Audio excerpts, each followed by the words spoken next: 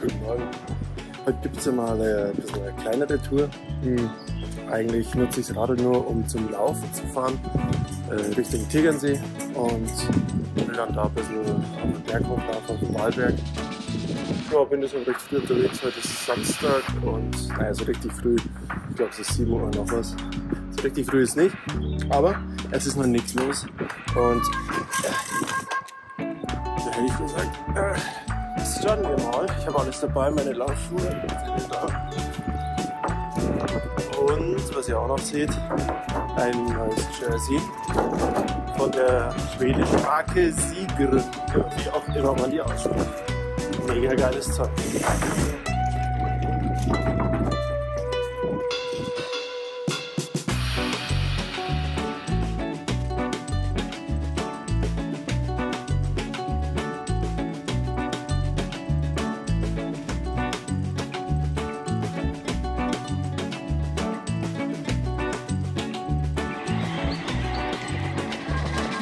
Schön, wenn man dann draußen ist aus der Stadt. Hier ist so wenig los, dass man vielleicht sogar noch ein paar Viecher sehen könnte.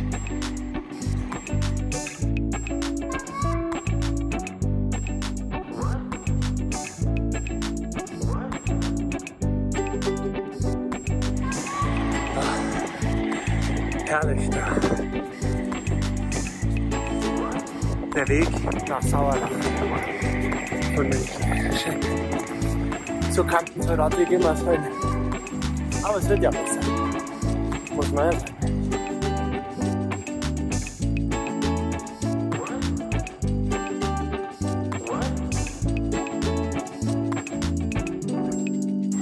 Es zieht zwar ein bisschen zu, aber schön ist trotzdem.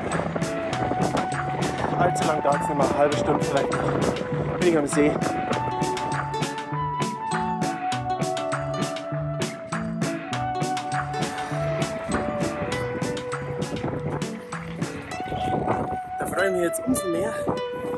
Ich jetzt auch in so einer Landschaft dann ein bisschen laufen kann. Ich so Bock drauf. Seit ich da bei meiner letzten Alpenüberquerung, der Film davor, seit ich da dann noch diese, so einen Berglauf gemacht habe und auch geschafft habe, mit 17 Kilometern, obwohl ich davor monatelang ja nicht laufen war. War jetzt nicht die mega Höhenmeter, aber geil. Wunderschön. Genau. Seitdem habe ich Bock.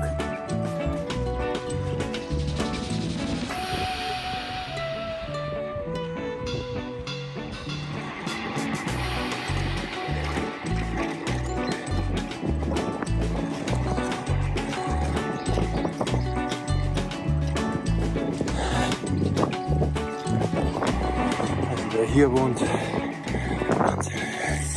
Sofort, sofort sage ich mir jetzt.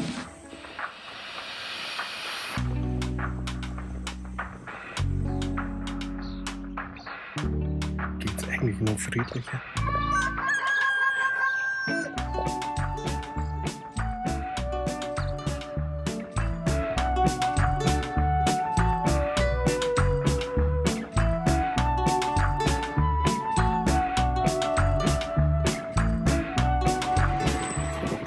Das wir. Der Tegernsee. Wunderschön mit der Bergkulisse. Ja, das ist jetzt mein erstes Mal, dass ich mit dem Radl irgendwo hinfahre, um dann da hoch zu joggen ähm, auf den Berg. Und da habe ich mir einen Tegernsee ausgesucht, weil ich da eine Möglichkeit hatte, mein Radl safe abzustellen bei Bekannten. Konnte ich mich auch umziehen, war aber natürlich mega angenehm.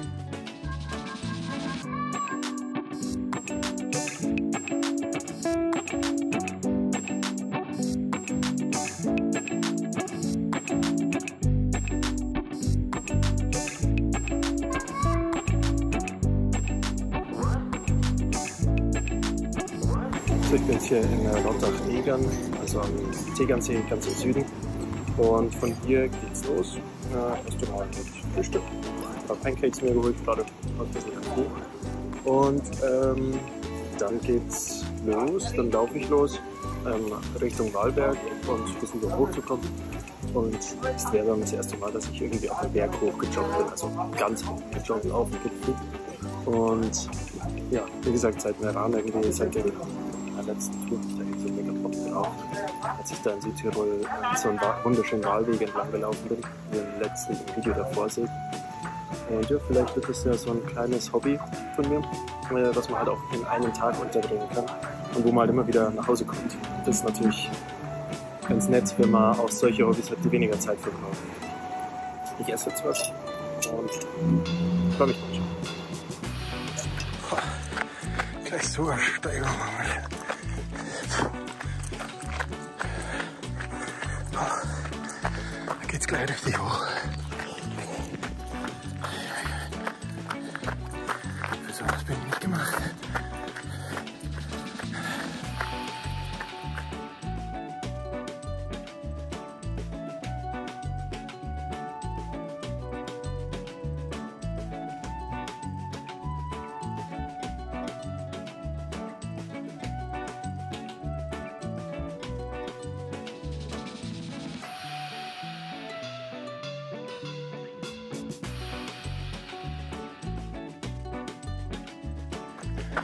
Da unten ist er. Kann der ganz sehen. Ich hoffe, ich verwackel nicht so beim Laufen.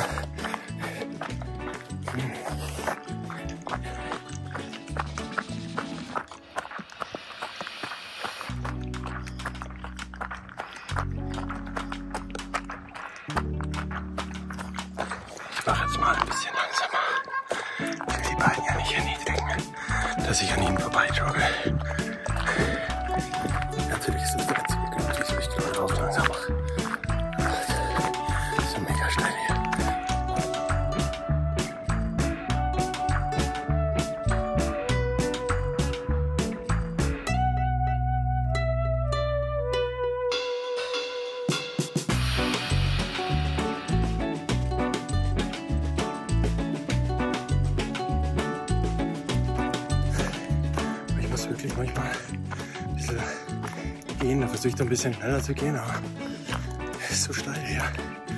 Dieser Weg. Heftig. Ich bin jetzt seit der Talstation 400 Höhenmeter. Ich hätte mir gesagt, zu drei Viertel bin ich schon gejoggt. Mega langsam, aber. Und seit Tegernsee, keine Ahnung, wahrscheinlich nochmal 100 Meter mehr. Und ich glaube, jetzt müsste ich noch so 300 haben, bis ich am Wallberg Haus bin. Und 500 bis zum Gipfel.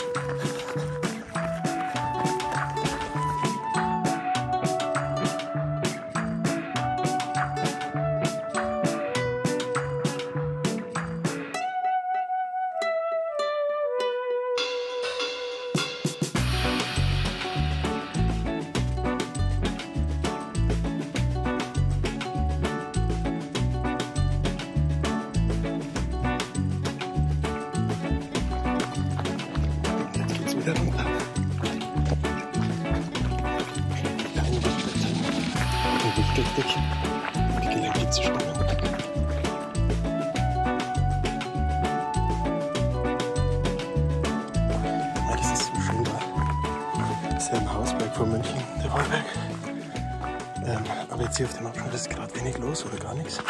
Das ist obwohl es Mittag ist, super. Ja, hier kann man jetzt auch nicht schnell laufen. Ich zumindest nicht. Eine Technik, die wirklich sehr bescheiden ist. Ich setze halt einen Fuß nach den anderen. Ähm, mit der Kamera in der Hand kann es ein bisschen gehen. Aber ja, ist wirklich toll hier. Und konditionell war ich jetzt schon gut am Arsch da oben. Ähm, war sehr schön. Einen Kaffee getrunken und eine Spezi. Und das war auch das Einzige, was ich mir leisten konnte. Denn ähm, ich habe ein Problem mit meiner EC-Karte gehabt. Ich habe dummerweise ja, eine defekte EC-Karte mitgenommen. Und somit konnte ich kein Geld abheben, hatte nur 20 Euro dabei und großzügig wie ich bin, habe ich äh, Pancakes mir gekauft und einen Kaffee im Tegernsee. 12 Euro weg. Da wusste ich noch nicht, dass meine EC-Karte nicht funktioniert. Hatte ich nur noch 8 und das hat jetzt genau das gekostet hier. Der Kaffee hat die Spitze. Ja, jetzt hätte ich natürlich irgendwelche Leute fragen können, ob, sie, ob ich ihnen per PayPal was überweisen kann und sie es mir ein paar geben. Das wäre bestimmt gegangen, aber ich bin da irgendwie, das mag ich nicht. Äh, ja, genau. Jetzt geht's halt wieder runter und nach Hause. Passt auf.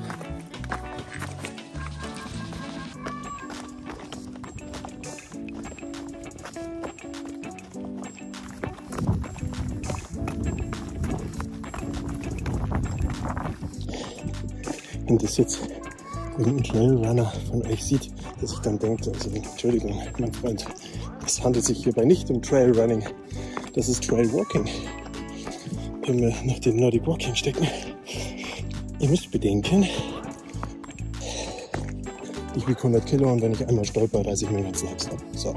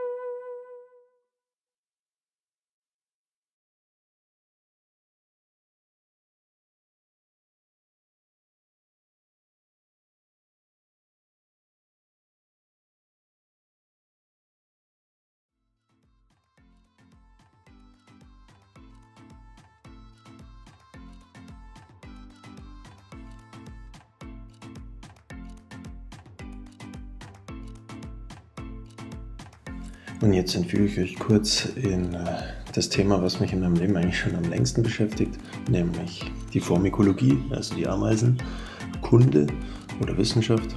Und hier sieht man jetzt den Kampf David gegen Goliath, äh, nämlich die kleine Ameise, eine Lasius, und die große Ameise, eine Serviformica, ähm, kämpfen um den gleichen Regenwurm, den gleichen vertrockneten Regenwurm zur Taktik der, der großen Ameise, der Serviformica, ist es, rumzufuragieren, also nach Nahrung zu suchen und wenn sie dann was sehen, es sofort ganz schnell wegzutragen. Ähm, wohingegen die Lasius ähm, einfach ganz normal versucht, es äh, vorzutragen, eventuell auch Verstärkung zu holen, um es dann abtransportieren zu können. Was interessant ist, die Serviformica ist extrem äh, ja, nicht dominant, sondern die haut sofort beim kleinsten Muckser von anderen Ameisen ab. Aber gleichzeitig, ähm, wenn sie bemerkt, dass andere Ameisen eine Beute transportieren, irgendwohin zu, zu ihrem Bau, dann versucht sie denen diese Beute streitig zu machen, indem sie äh, ganz schnell hinrennt, quasi die, die anderen Ameisen überrennt, den Regenwurm jetzt in diesem Fall, ganz schnell zu packen und einfach 30 cm weiter zu schleppen und dann sofort weiter. Das ist deren Taktik, also quasi so ein Überfall einer Karawane. Und das ist immer sehr interessant zu beobachten, weil wie man sieht, kleinster Muxer von der kleinen Lasius ähm, und sofort ist die große weg. Kleine Entführung in die Pharmakologie. Ich hoffe, es hat euch Spaß gemacht.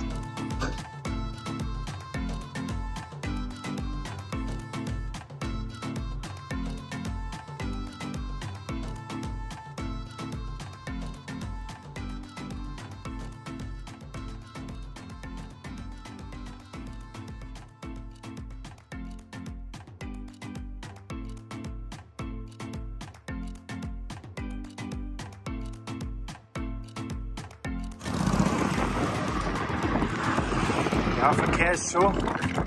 Trotzdem ist es schön. Passen auch alle auf.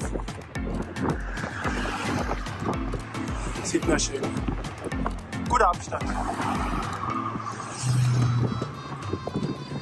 So, jetzt bin ich wirklich froh, wenn ich in Bad Tölz bin. Ist nicht mehr lang.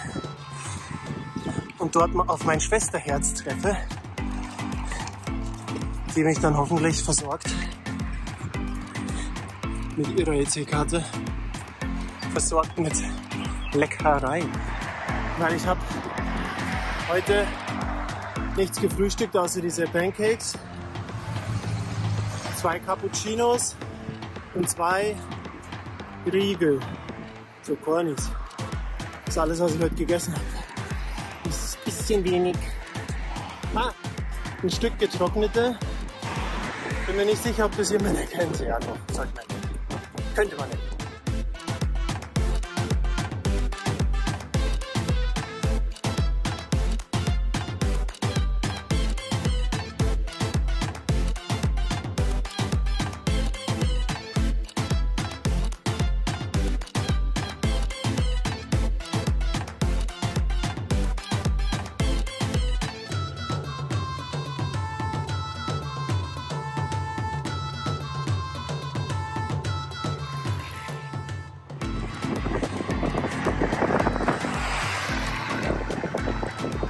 Freunde, jetzt beginnt der schönste Teil von dem Weg von Bad Tölz nach Hause. Es ist so schön hier. Diese Weiden, die Kühe, die schönen Zäune. Ach, Bist du deppert. Ist gut. Ja, mal okay.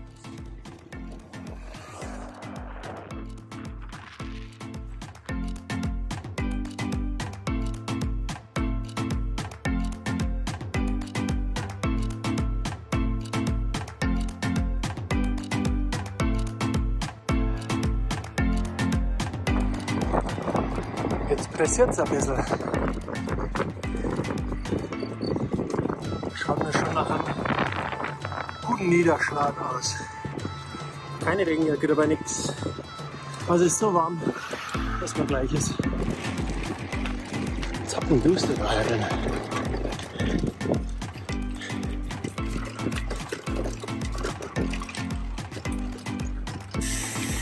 Aber natürlich bin ich zu faul, meine Sonnenbrille auszuziehen.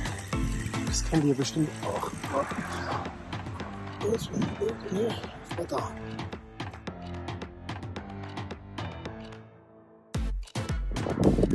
Ja, spinnst du, was ist denn da hinten los? Die Zugspitze, die Zugspitze. Genau jetzt in der Mitte vom Bild. Mein Gott. Sieht das pervers aus? Wie schaut's da aus? Meine Schuhe. Wie schaut's da aus? Wunderbar. Jetzt könnte ich da schon wieder Stunden stehen.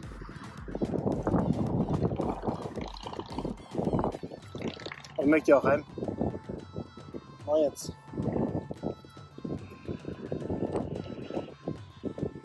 Ah, Regentropfen. Naja, ich wuchte mich wieder aufs Rad drauf. Schön langsam kickt. Kicken die zwei Stück.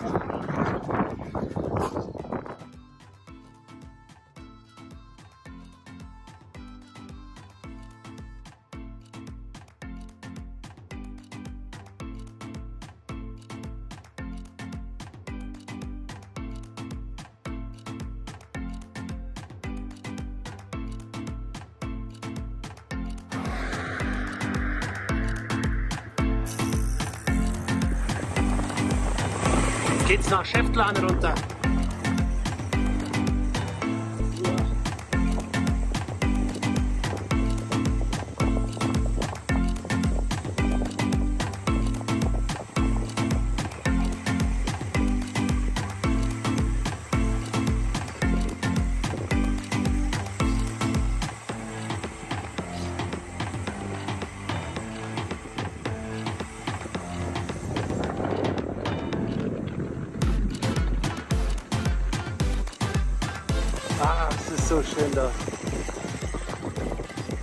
Wunderbar. Vor allem jetzt kommt eine traumhafte Allee. Also sowas, nein. Also sowas. Tschüss. Tschüss, tschüss, tschüss. Und dann ist dieses, äh, dieses Kloster da. Mein Gott, ja, leck mich doch. So. Ah, ist das geil. Wunderbar, wunderbar.